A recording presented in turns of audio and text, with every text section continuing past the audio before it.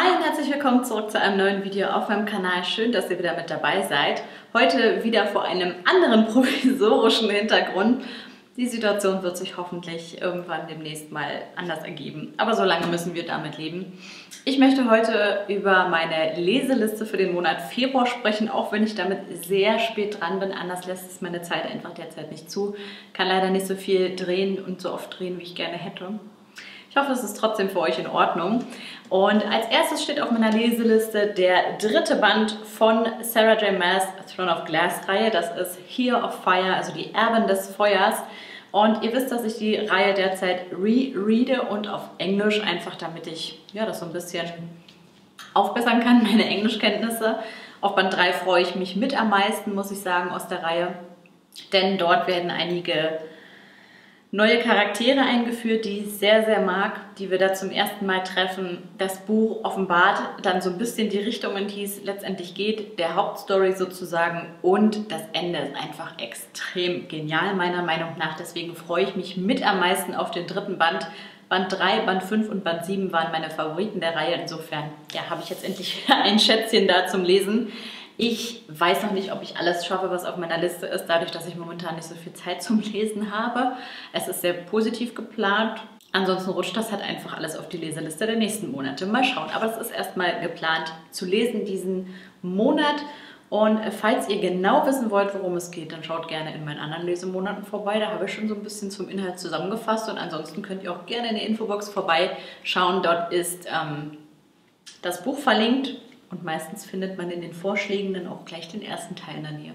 Dann möchte ich im Februar auch beenden die Daughter of Smoke and Bone Reihe von Lainey Taylor. Das ist der dritte Teil Dreams of Gods and Monsters zwischen den Welten.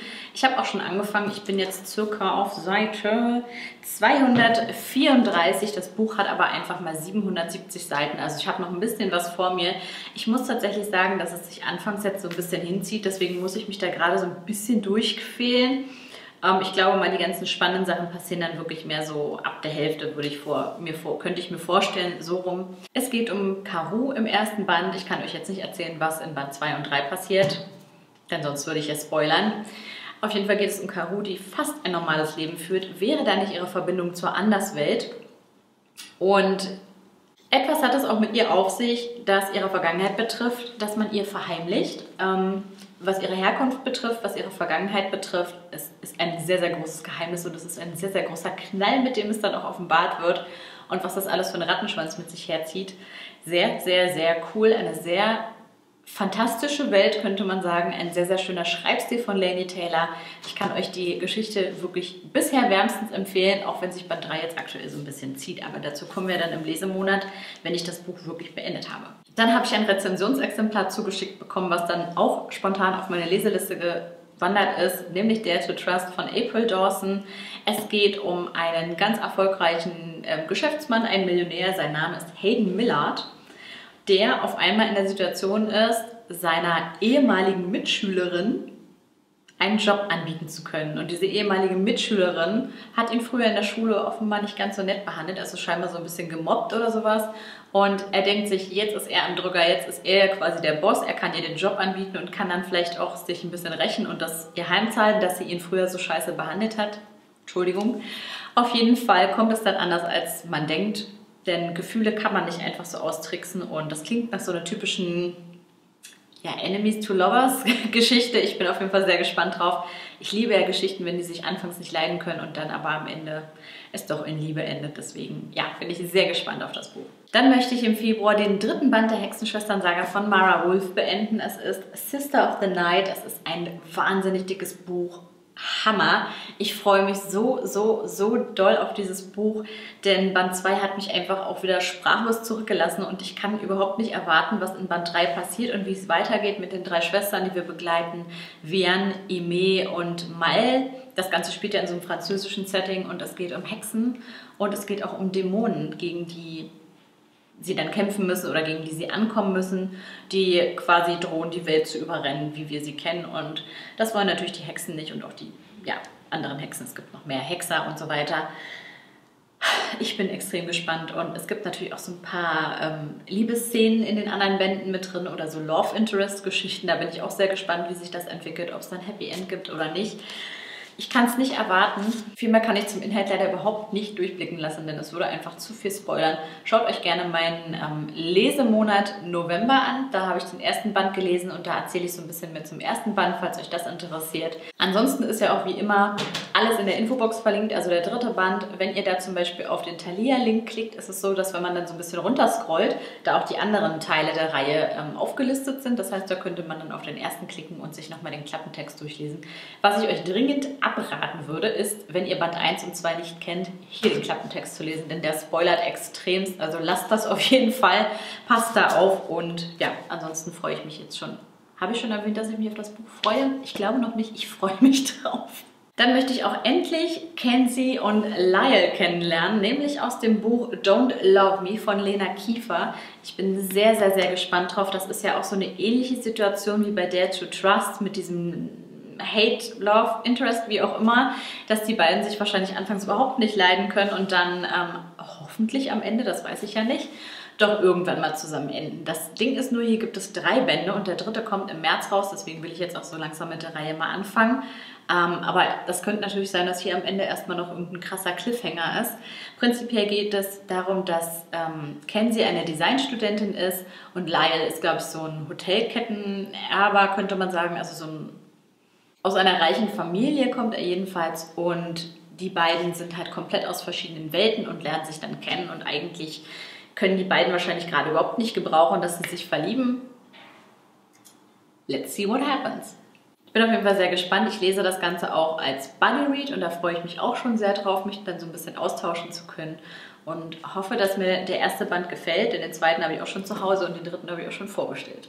Dann ist inzwischen bei mir angekommen The Invisible Life of Eddie LaRue von V.I. Schwab und es ist ein englisches Buch. Es ist diese Illumicrate Special Edition, also das Buch mit dem Cover. So gibt es leider nicht irgendwo zu kaufen. Das war eine limitierte Edition von Illumicrate und ich lese das jetzt auf Englisch. Das habe ich euch auf Instagram auch schon öfter gezeigt und erzählt.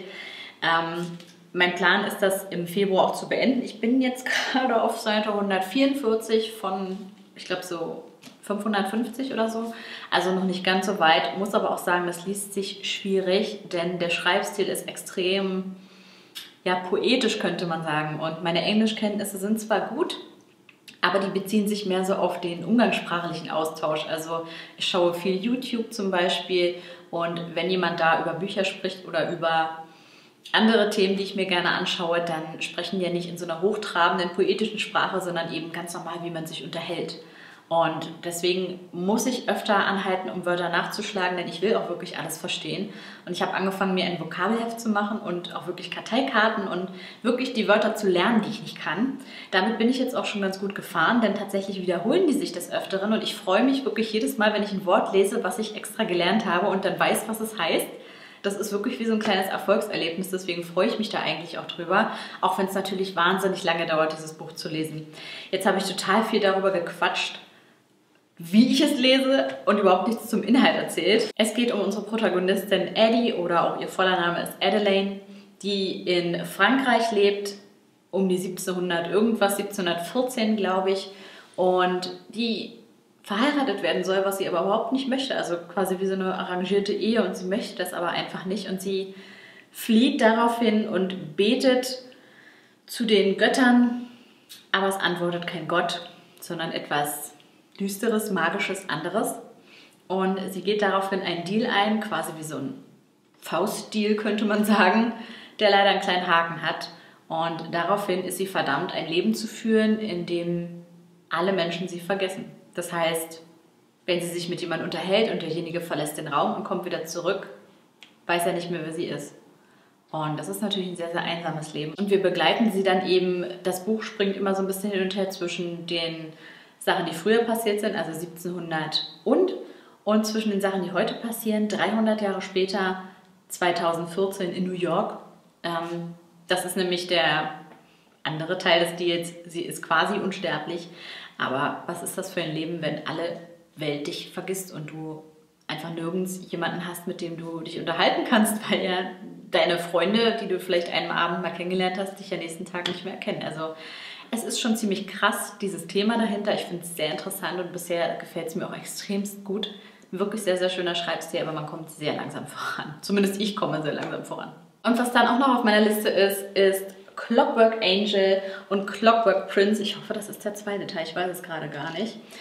Ähm, die Chroniken der Schattenjäger, das, das, lese ich ja zusammen mit anderen lieben Mädels auf Instagram im Rahmen des ähm, Shadowhunter Readathons, von dem ich euch schon mal erzählt hatte. Und tatsächlich ist es so, dass ich 1 jetzt auch schon angefangen habe. Ich bin schon über die Hälfte hinaus. Wir haben das so geplant, dass wir vom 1. Februar anfangen mit Clockwork Angel und zwei Wochen Zeit haben, das zu lesen. Und ab 15. Februar starten wir dann quasi mit Clockwork Prince, dem zweiten Teil.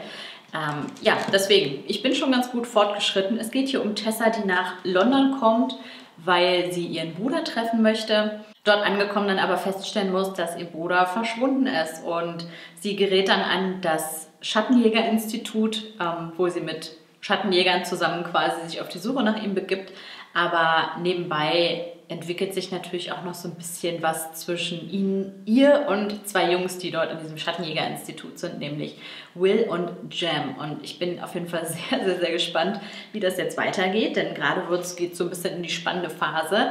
Es ist ein sehr, sehr cooler Schreibstil, wie ich finde, ein bisschen zu vergleichen mit Nevernight fand ich, so vom, vom Wordbuilding her. Dadurch, dass es auch, ich glaube, 1800 irgendwas spielt, ein ähnliches Setting wie bei Nevernight, also einfach keine moderne Welt mit Handys und mit Schusswaffen oder sowas, sondern halt mit ähm, Schwertern und Stiletts und irgendwelchen Damenkleidern und so. Also ich finde das ziemlich cool.